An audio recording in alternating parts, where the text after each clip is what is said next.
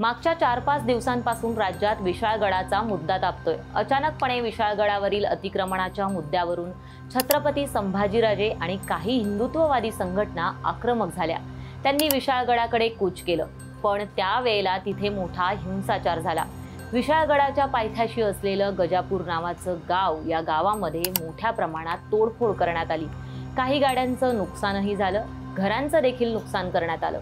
अर्थातच विशाळगडावर जी अतिक्रमणं आहेत ती तोडण्यासाठी ही सगळी मंडळी आक्रमक झाली होती. त्यानंतर हा मुद्दा खूप पेटला. माध्यमांनी देखील हे प्रकरण लावून धरलं. इथे काँग्रेसचे खासदार छत्रपती शाहू महाराज यांनी भेट देत रोष व्यक्त करत सरकारला धारेवर धरलं होतं. झालेला हिंसाचार हे सरकारचं अपयश असल्याचं त्यांनी म्हटलं होतं.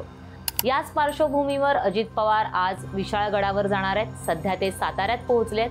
विशाळगडावरच्या स्थानिकांशी आज ते संवाद साधणार आहेत. महाविकास आघाडीकडून आज शांतता मोर्चा सद्भावना मोर्चाचं आयोजन करण्यात आले तर दुसरीकडे अजित पवार आज विशाळगडावरील स्थानिकांची भेट घेण्यासाठी जाणार आहेत. सध्या अजित पवार हे सातारा दौऱ्यावर आहेत. त्यानंतर ते कोल्हापुरात जाणार आहेत आणि तिथे ते विशाळगडावर जाऊन स्थानिकांशी संवाद साधून घडलेल्या घटनेबाबत अधिक माहिती घेणार आहेत. आतापर्यंत विशाळगडावर जी घटना घडली त्यानंतर सरकारकडून कोणीही गेलेलं नव्हतं. परंतु आता स्वतः उपमुख्यमंत्री अजित पवार तिथे उपस्थित राहणार आहेत.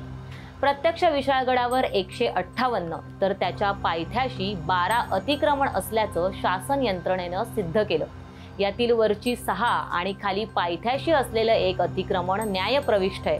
इतर सर्व अतिक्रमणं काढण्याचे आदेश शासकीय यंत्रणांना आहेत तरी देखील ते काढली जात नाहीत म्हणून छत्रपती संभाजीराजे आणि हिंदुत्ववादी संघटना चौदा जुलै रोजी चलो विशाळगडचा नारा देत तिकडे गेले होते. पण त्या दरम्यान विशाळगडावरील गजापूर आणि मुसलमानवाडी येथील नागरिक वस्त्यांवर हल्ला करण्यात आला.